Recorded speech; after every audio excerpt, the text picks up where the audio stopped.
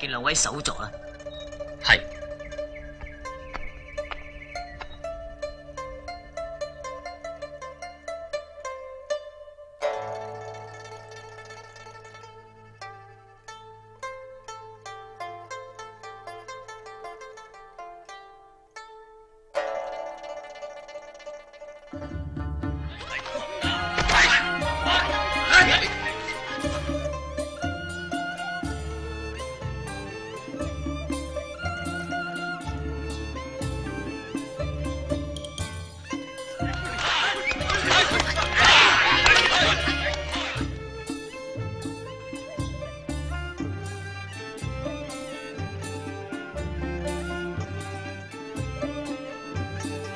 ใค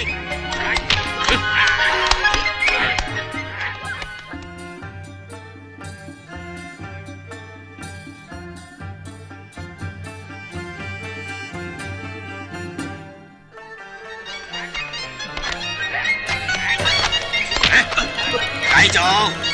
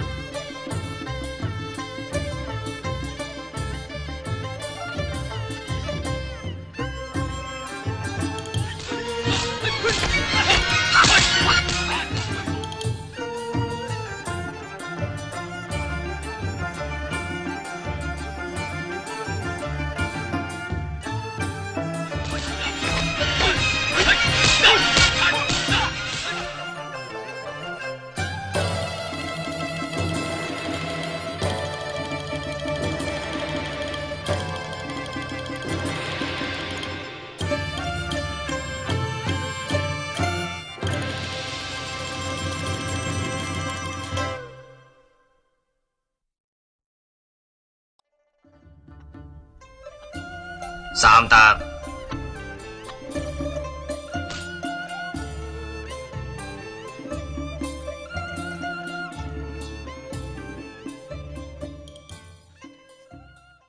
真鍋楽山です、えー今回はですね、えー少林寺36号の憲法法についてお話しさせていただきたいと思います実はこのシーンの中でですねこの憲法法っていう字が出てきません。どこの法なのじゃ。まあ憲法やってんだから当たり前じゃろみたいな感じで出てきません。刀とか槍とかねそんなんやったら出てくるんですけど。えっ、と憲法の方は出てきません。まあ憲法フンファということで、えー省略されておるんですかね。壁のところとかある、えー型を行うシーンについてはこれは古事復古拳ですね。ゴンジーフォクフーコンをみんなでやってるんですがゴンジーフォクフークっていうのはラム・サイウィンが作った方なんですよ。イプマンという映画の中でもリングの上でですねゴンジーフォクフークやってましたね。有名でございます。まあ後見の中ではすごく有名な方なんで私もまあちょっと収めておりますがあの非常に大事です。それであのイエン・シャオティンがですねあの蘇我氏やってた人がですなあの肩直していくわけですけどもやっぱりこう綺麗な形っていうのがね大事ちょっと前傾姿勢になっておったり腕が伸びておったり体が回っておったりしたら全部直されるということでございます。まあまあそそれから全員で、えー、立ち回りするシーンっていうのがあるんですがこれはまあある程度型というものを基礎にしたあ立ち回りで作った。日本の立ち回りっていうのはこのね技と技の間っていうのは緩急をつけたがるんですよね。香港の人は緩急つけないんですね。一本上司なんです。これはもう立ち回りとしての特徴でございますね、あ、あんだけ込み入った立ち回りしたらねあの緩急つけたらやれませんわ。お互い見合ってしまうところがあったりして緩急がつつくんですが、えー、香港の立ち回りっていうのはあのジャーキー・チェンでも何でもかんでも等間隔でございます。一本上司です。はいはいはいはいはいはいはいはいみたいな。こうこう等間隔でやるわけでございます。